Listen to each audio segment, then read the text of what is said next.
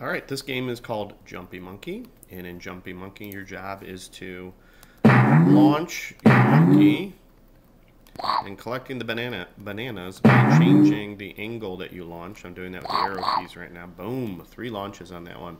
And you can also adjust the launch speed. So let's go ahead and play around with this and see what you guys can do. All right, so go ahead in Scratch and create a new file. So create. Let's make sure we immediately rename it, something that makes sense. So please put your last name. So your last name, not mine. Okay. And then monkey, jumpy monkey. The game is called Jumpy Monkey, so uh, I'm just going to do JM, but put something that makes sense for you. All right, we're not going to need the cat sprite, uh, so you can delete the cat sprite. And we're going to add two sprites right off the bat. So we're going to click the magnifying glass, and we're going to choose the monkey. Here's the monkey right there. And we're also going to search for one called arrow right here. So we've got these two. Now I want you to immediately rename arrow to launcher because we're going to refer to that to the launcher throughout this tutorial. Okay, first thing we need to do is go ahead and make a variable. So go to your variables category and we're going to make a variable called launch speed. Make sure it's for all sprites and click OK. And this one is going to be visible. We're going to keep it visible for the game. The players are going to want to be able to see how they're adjusting the launch speed. All right, so in the launcher sprite, make sure you're in the launcher sprite. Let's go ahead and start to add some code to control the launcher. So bring out a when green flag is clicked. Go to our variables menu and we're going to set launch speed to 10. So when the game starts, the counter will be at 10. Uh, we're going to make sure that we have the launcher in the correct place on the screen. So we're going to bring out a go to XY block. And we want it in the lower left. So those are both going to be negative numbers. So negative 200 on the X and negative 140 on the Y. Should put it in just about the right spot. If I hit the green flag now, you can see the launcher down here in the lower left corner. Uh, we want the launcher to kind of point in uh, kind of up to the right. So we're going to do a 45 degree angle, so point in direction 45 degrees, and we want to make sure that it doesn't get covered up at any point. So we're going to find that go to front layer piece of code and put that right in there. Okay, now uh, let's go ahead and add a little bit more code to control the launcher. So let's bring out another when green flag clicked. And then grab a forever loop and inside this forever loop, we're going to put two if then uh, pieces of code. Don't put them inside each other at the start. We're actually going to end up putting two more, one each in these right here. So we want to, uh, in this one, put in a if right arrow and if left arrow press. So what we want to do for that is go to our sensing and we want to do a if right arrow pressed. So I'm bringing out this key space press, but then we're going to change that. Uh, we're going to change that to the right arrow and the left arrow. Okay. So what we want to do is say if right arrow pressed, we want the uh, arrow to turn one direction. So we're going to go to motion and we're going to say turn one degree.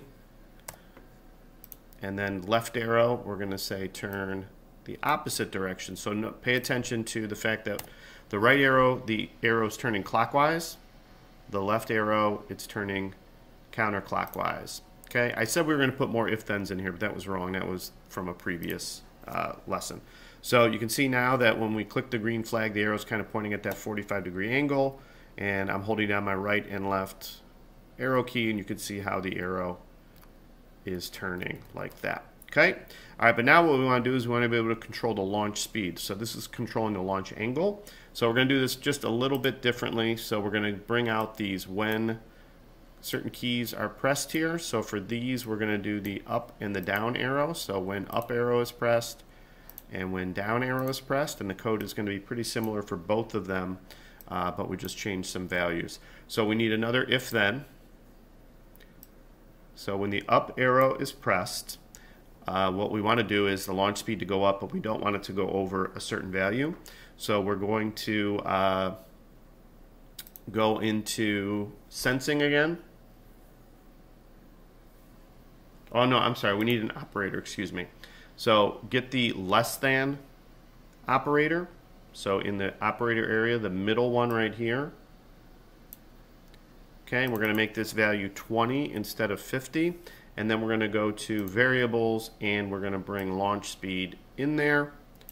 So this says if launch speed is less than 20, then we're going to change launch speed by 0.1. So this is saying as long as the launch speed's not over 20, when I press the up arrow, you can increase the launch speed. But once it gets to 20, that would be the maximum speed.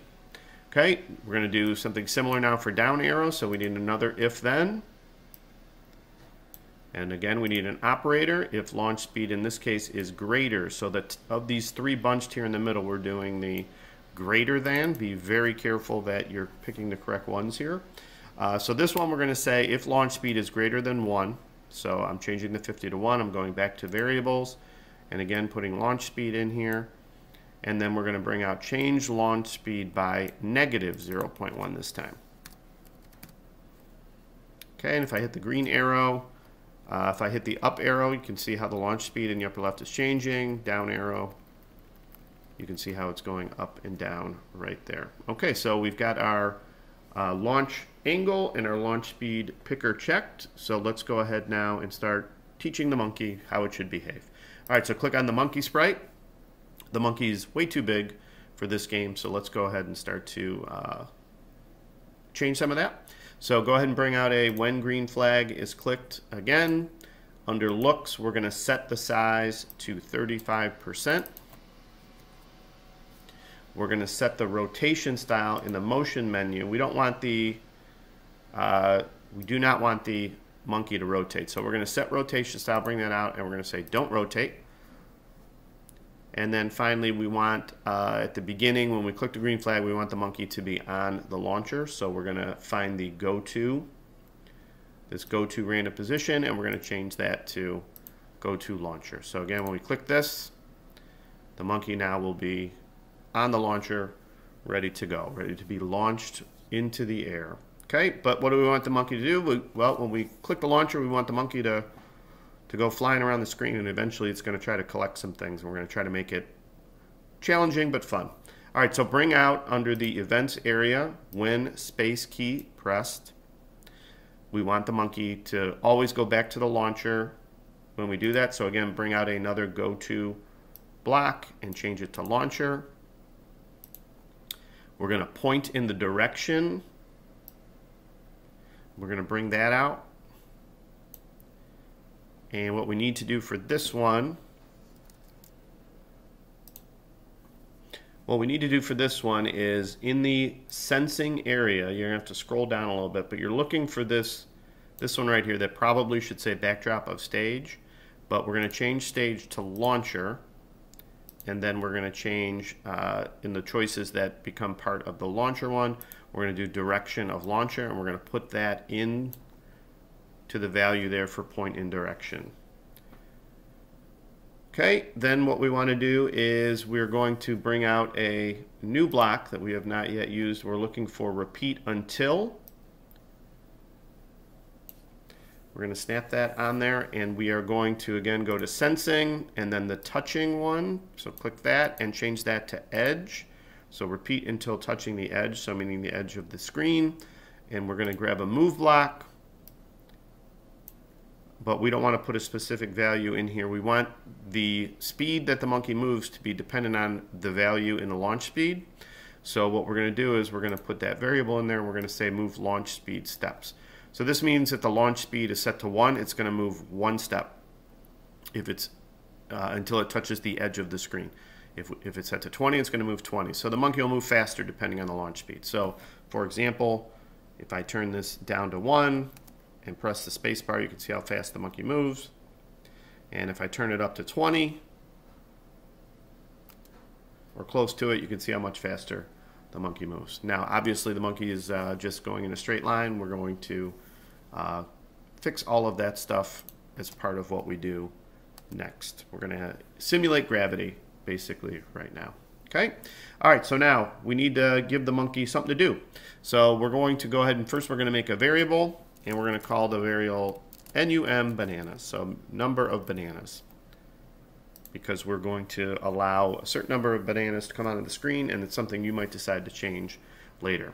So we're going to make a new sprite, pick the magnifying glass, and banana should be pretty close to the front, but start to type it in if you need to. Uh, we'll bring the bananas out. And let's go ahead and add some code to the bananas here so uh, we can explain what we want them to do during the game. So we're going to bring out a green flag.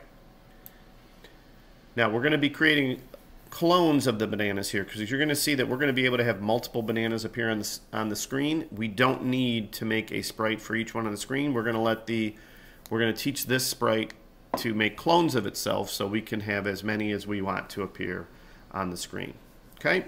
All right, so when the green flag is clicked, we don't actually want this banana to appear. We want clones of it to appear, so we're actually going to hide it. So whenever we click the green flag, we're going to hide the banana. Go to the variables area and set, bring out a set and change that to number of bananas. And we're going to start with three, which is something you can change later when you make some of your changes yourself. And then we need a repeat event, or I'm sorry, repeat control. So bring out a repeat. And then, but instead of 10, what we're going to do is put the banana numbers variable in there, which is set to 3. And we're saying create this many clones of myself. So if you're going to go to events, or I'm sorry, it's in control. I keep going to the wrong one create clone of myself. So this little piece of code says basically put three copies of me on the screen.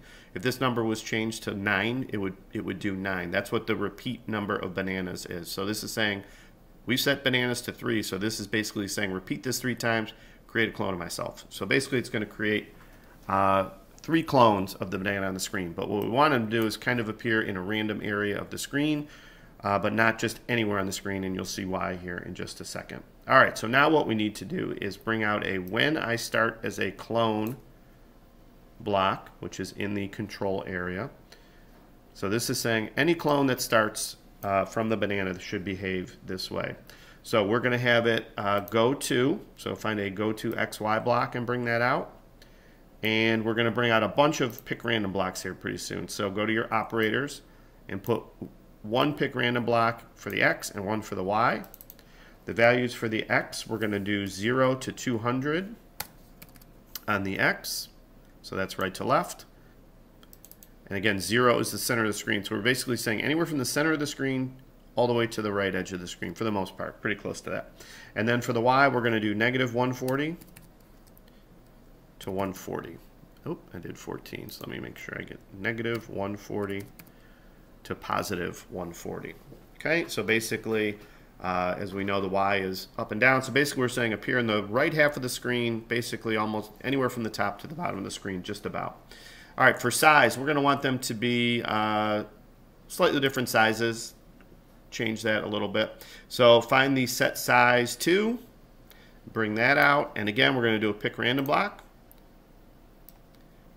So the game will be a little bit more interesting if the bananas vary in size a little bit. So we're going to do 50 to 100%. So either full size or about all the way down to half size. And let's, uh, let's have them appear a little bit differently as far as colors go. So find the uh, set color effect block. And again, there's certain things you can change, but we're going to want it to be on color. And we're going to, again, going to do a pick random on this. And we're going to set this to negative 10 to 20. And then we want them to show because they'll be hidden until, since the banana is hidden, the clones would be hidden as well, so we need to tell them to show. Then we need a, another block, but basically what we want now is uh, we want the bananas to be on the screen until they touch the monkey. So we're going to bring out a wait until block in the control area, and then we're going to sensing, and the very top block is touching, and we're going to say touching monkey, wait until touching monkey. So once they are touching the monkey, we're going to go ahead and say, uh, we're going to, we need to do a couple of things. We want it to disappear and change the count of the bananas on the screen. So we're going to do change number of bananas num bananas by negative 1. So when we hit a clone, we should subtract 1 from the screen. And then finally, we need an if then to let the game know what we want to happen if all of the bananas are gone. So we want to bring out if then. So if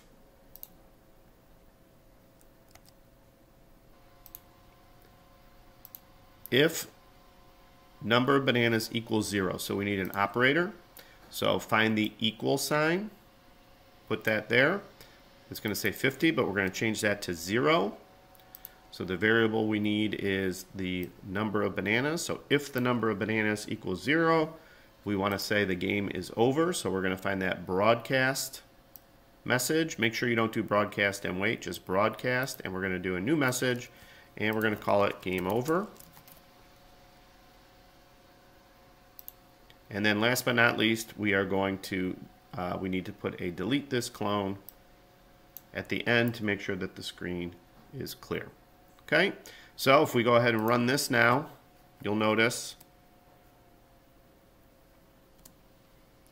that we can get all the bananas. The game should be over. Nothing's happening because we haven't yet told the game what to do when the game is over. So that will be coming shortly. But again, you should see now that it's pretty easy to hit these bananas, so let's make it a little bit more challenging. But you should also notice that they're appearing with slightly different colors slightly different sizes, that sort of stuff. So let's make the game a little bit more interesting. We're going to make a new sprite. And I'll be honest with you, uh, Scratch doesn't have a good palm tree as a choice anymore. So the trees they have are actually, I don't really like them to be honest with you. Uh, so these are the two choices for trees. I'm just going to go with this one. I encourage you to draw your own palm tree. You go into the costume editor, okay? You go in here, take your paintbrush, try to draw something that might be a little bit more interesting. But for now, for the purposes of this, uh, I'm just going to go ahead and use the tree that we have here.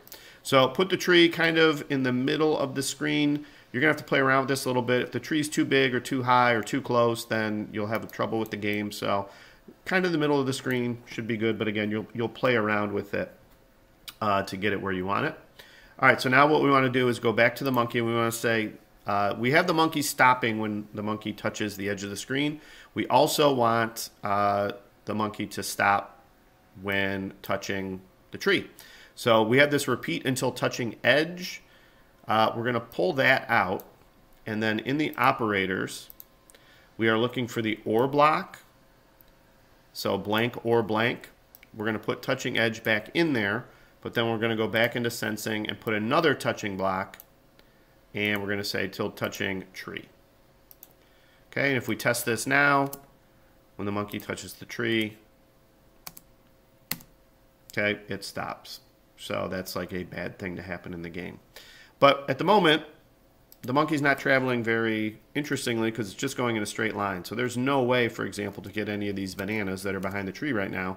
So we got to add gravity. We've got to have the monkey sort of simulate what would happen in real life if you threw a monkey in the air, it's going to start to fall down because of gravity. So in order to do that, we're going to need to make a couple more variables.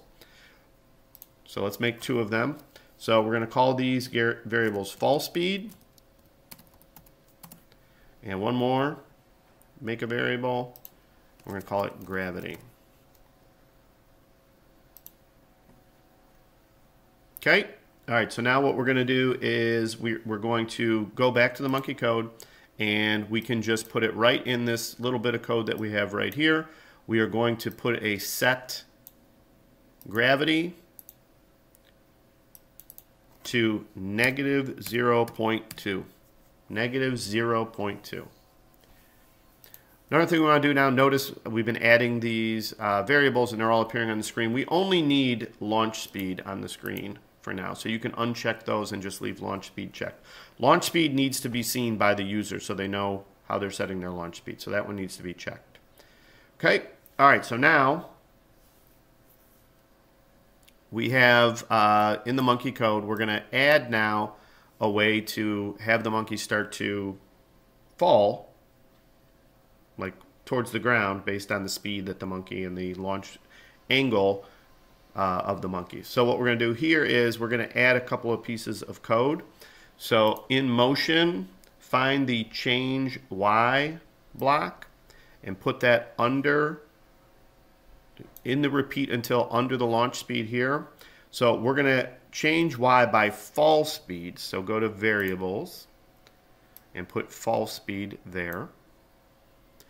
And then we're going to add another one and we're going to do a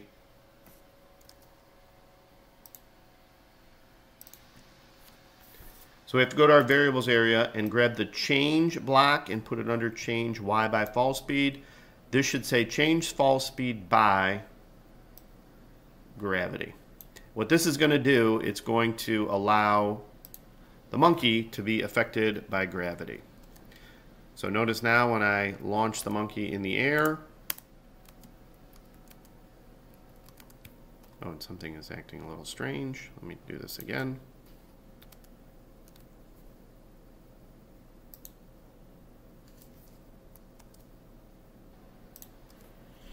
All right, I made uh, a little bit of a mistake. Uh, I had to stop the video because the game was not behaving the way that I wanted it to. And yours probably is not either because when I am pressing the spacebar, the monkey is not flying across the screen. It's dropping right to the bottom.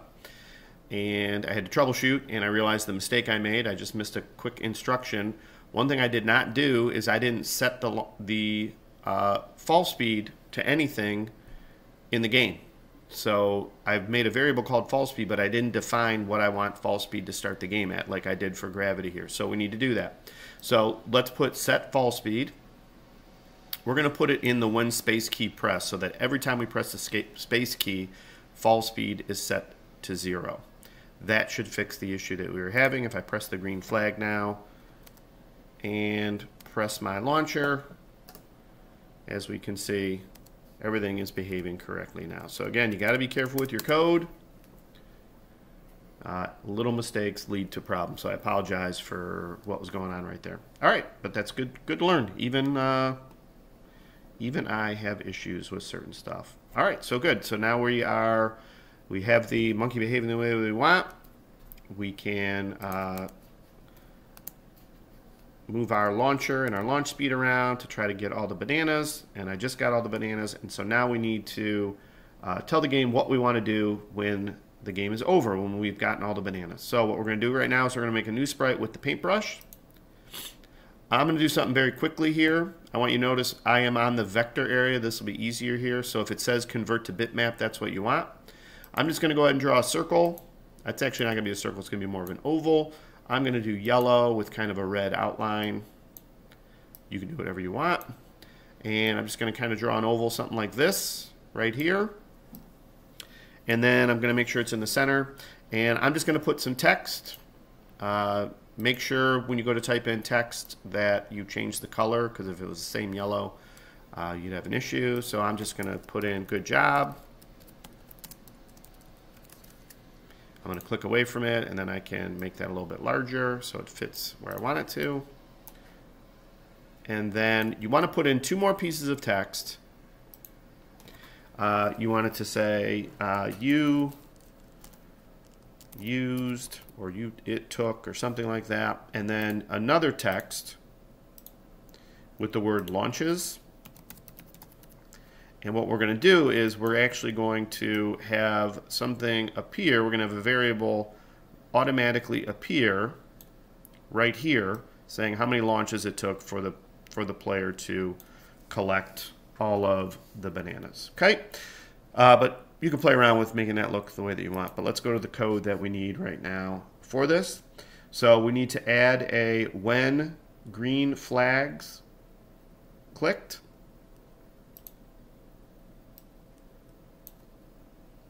Uh, oh, we need to make a variable. Uh, let's make another variable. We're going to call it launches. And click OK. I'm actually going to capitalize that. And we're going to want to, when launches appears here, don't uncheck it. We do want it to appear here, but we're going to hide it. But we want it to be the large readout. We want it to look like this. Okay. All right. So now going back to the sprite one, let oh let's let's name this. Let's name this like good job or you win or something like that for this sprite. Okay, so when we click the green flag, we want to, again, set our variable. So we're going to set launches to zero. So every time we start a new game, we'll have the launches set to zero. We are going to use this hide variable launches because we don't want to see this zero until we want it to appear. And then we're just going to put a hide block at the bottom of this right here. So when we click the green flag, notice that little launch has gone away. Okay, we're going to add some more code here. So we are going to go to when I receive game over. If you remember earlier, we, we broadcast game over when all of the uh, bananas are gone. We're going to do the go to XY 0, 0. We want to make sure this comes to the front. So under looks, we want to go to front layer. Now we want to show it because we, we did have it hidden before. Then we want to go to our variables and go to the show variable launches. And then we want to stop all other sprites uh, in the game. So that's in the control area. Stop all sprites. And then we need to add one more thing. We're going to add a when space pressed. We want to keep track of how many launches it took. So we're going to say change launches by one. So every time we launch, we'll see what happens. Go ahead and run the code now. And uh, you'll notice there that that game would have been unwinnable because the bananas were in the tree. Like I can't get this banana that's down here at the bottom right now. So I'm going to press the green flag again. So this is why you're going to have to play around a little bit with your, boom, okay? You're to, to play around a little bit with your, um, your tree size. So now what we want to do is we want to grab, once this screen appears, we want it to be a large readout. We want to grab it and put it in a place, I don't know what, I don't know why that keeps popping up. Right there like that. So now this will automatically appear here. Okay, just a couple more things. We're just about done. Let's make this a little bit more interesting by adding a backdrop. This is another thing where I don't really feel like there's a great backdrop for this game. You could make your own. You can go into the costume editor and draw your own things in there. I think that'd be pretty cool, but I'm just going to put this backdrop in right here, but you can put whatever you would like. And then we just got to add a couple of sounds to this. So let's go into the monkey and let's go into sound and uh, go, go to the sounds tab and then we're going to choose a sound. We're going to choose boing. And there's a few different ones, B-O-I-N-G. You pick the one that you like. I'm going to do drum boing. And then in the code for the monkey, I'm going to go ahead and bring out a place, play drum boing until done. And I'm going to go ahead and put that in the, uh, where do I want to put that? I want to put that in the, put it right here in the when space key pressed. Anywhere in here will be just fine. Okay, and then finally, uh, for banana, we're going to add a chomp sound. So go to bananas, click on the sound tab. Uh, chomp is already here, but if it wasn't, you would just search for it and click it to load it. And then in the code area, you can bring out the play sound chomp 2. And then what you want to do is this one needs to be in the uh, wait until touching monkey area. So anywhere after wait until touching monkey, do that. All right, let's see what this looks like now. Again, you can see here that the bananas are, are appearing in a place they shouldn't be. There we go. All right, so I'm going to stop the video here. You can play around with cleaning this up, and then in Google Classroom, it's going to tell you exactly the type of changes I want you to make to this project.